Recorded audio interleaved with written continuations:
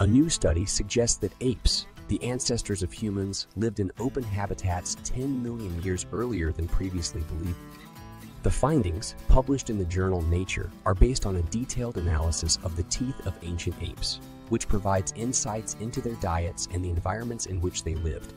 The researchers examined the fossilized teeth of three different species of apes that lived between 17 and 24 million years ago in what is now Myanmar. By analyzing the carbon isotopes in the teeth, the researchers were able to determine what type of vegetation the apes ate, and by extension, the type of environment in which they lived.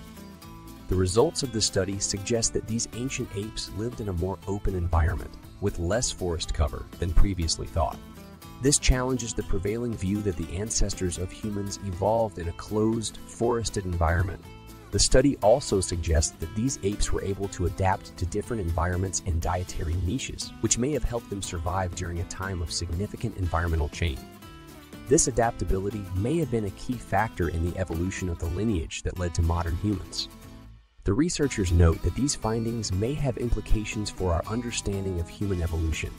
The traditional view of human evolution suggests that our ancestors evolved in a closed, forested environment, and that this had a significant impact on our evolution. However, these new findings suggest that the story of human evolution may be more complex than previously believed. Overall, this study provides new insights into the evolution of our closest relatives and challenges our understanding of the environments in which they lived.